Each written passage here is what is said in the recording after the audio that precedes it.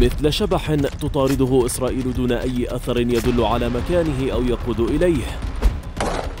هكذا وبعد ثمانية أشهر من الحرب المتواصلة على غزة وتفتيش كل بيت ونفق ومكان لا يزال مكان يحيى السنوار مجهولا.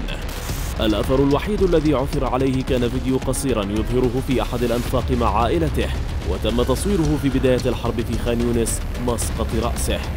المثير أنه من وقت لآخر كانت إسرائيل تتحدث بثقة عن وجوده في مكان ما معلوم لديها مؤكدة أنها كل مرة كانت تقترب منه لكنه كان يفلت في كل مرة لتواجه اتهامات في كل مرة بالفشل الاستخباراتي الذي يضعها في مأزق فهل يعني ذلك الاختفاء انقطاع السنوار عن التواصل مع قيادات حماس؟